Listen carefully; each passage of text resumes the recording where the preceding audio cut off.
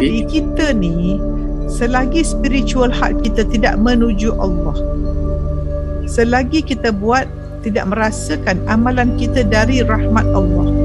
Buat dengan Allah. Kerana Allah.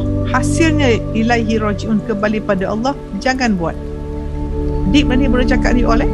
Mm-mm. Dan tadi nak tahu kualiti manusia ni.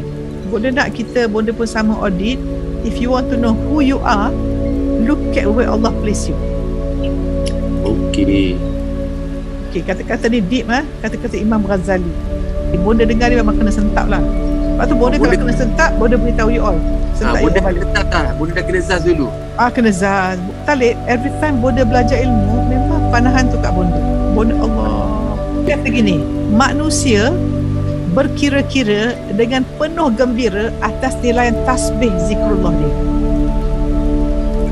Oh, okey. Ah, Kau bersedia eh? Tetapi tidak pernah mengira-ngira beberapa perkataan yang lara, yang sia-sia. Allah.